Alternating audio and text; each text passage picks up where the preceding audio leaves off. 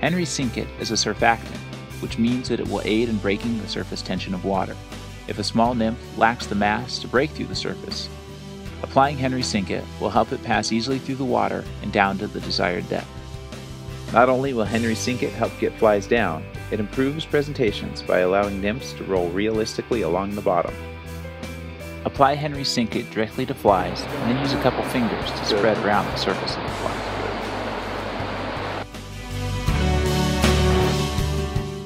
Reapplication shouldn't be frequently required, but of course if a fly starts to get stuck on the surface, then reapply.